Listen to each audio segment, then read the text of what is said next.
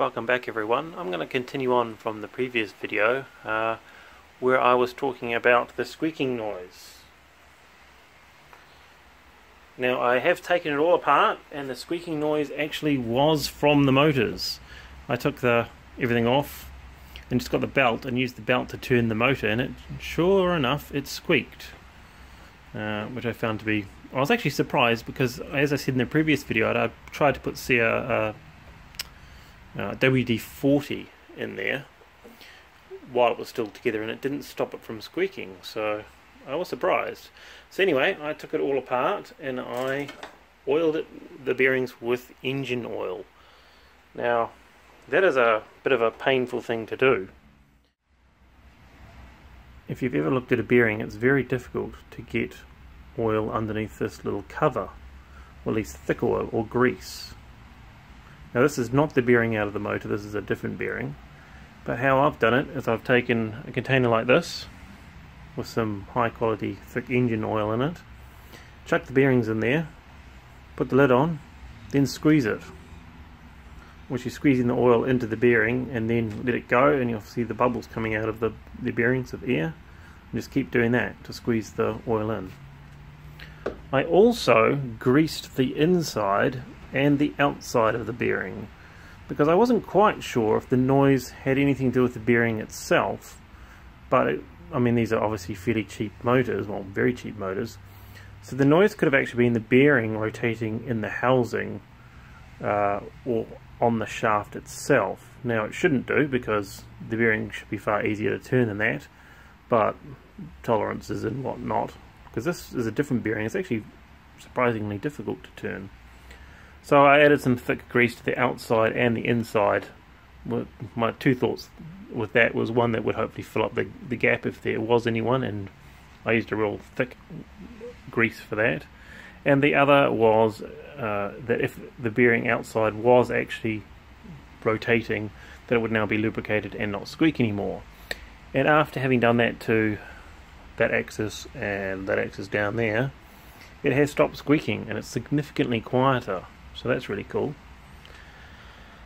Uh, the other one I've had some follow-up questions on is uh, about these uh, the stainless steel on brass, grinding it away.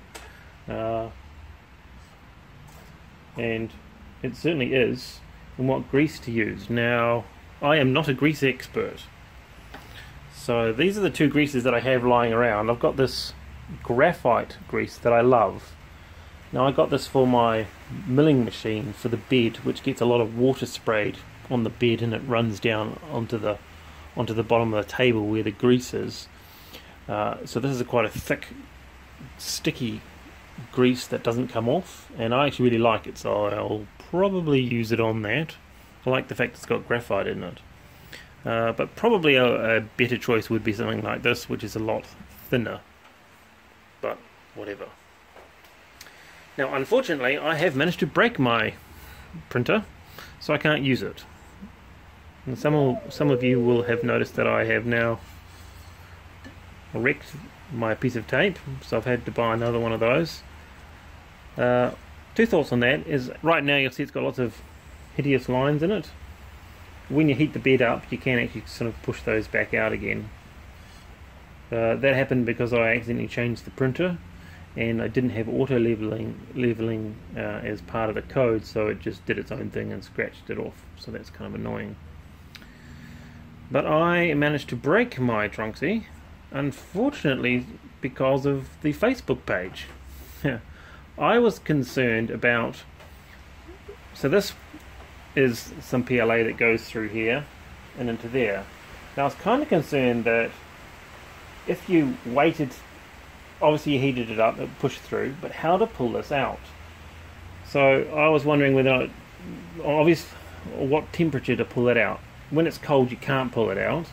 When it's really hot I was worried that it would get real stringy like this, which it does, and eventually block up this plastic tube.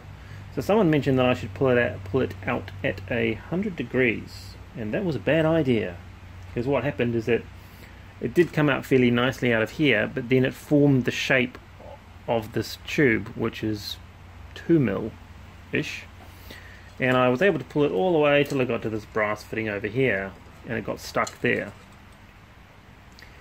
And in my hmm, possibly good thinking possibly bad thinking I thought it would be a good idea just to drill it out from here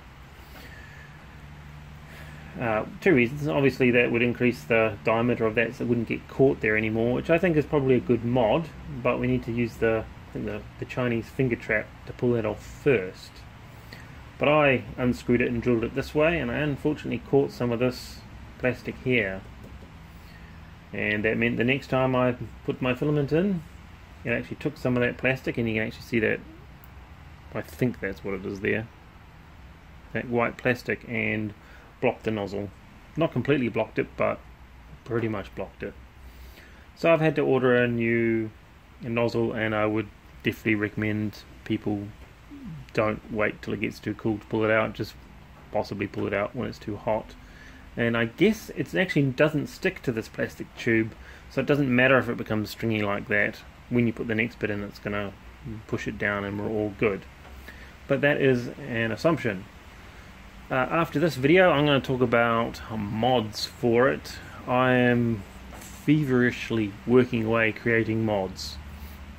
Um, because I can't do anything stock and I have to change even the aftermarket designs. I'm like, yeah, but this slot shouldn't be there. Uh, and so I'm currently working on a complete new one of these with dual 40 millimeter fans. I nothing's too new or exciting about that, except for I couldn't find a dual 40mm fan that would allow you to still use the auto leveler and or have the auto leveler in the stock location. So that's what I'm gonna I'm currently working on, and I it's gonna obviously be a bit wider than anyone else's one because of the auto leveler, though the fan's sort of going to go across the side of it. But uh, yeah, at least there'll be an option. I'll put it up. People can download it. Hopefully, it's going to work. I spent way too much time on it, it's good fun. I will see you on the next one, guys. Bye bye.